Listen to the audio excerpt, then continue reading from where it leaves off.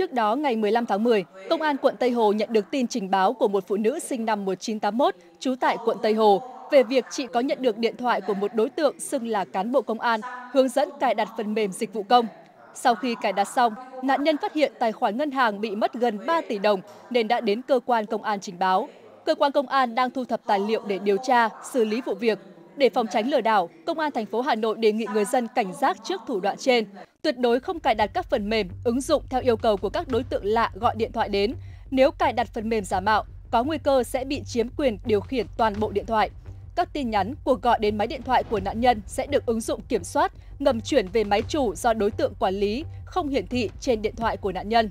Nguy hiểm hơn, các đối tượng chiếm quyền điều khiển điện thoại di động từ xa, sau đó truy cập vào tài khoản, chuyển hết tiền của bị hại. Khi gặp các trường hợp có dấu hiệu lừa đảo, người dân cần kịp thời trình báo cơ quan công an để ngăn chặn và xử lý theo quy định của pháp luật.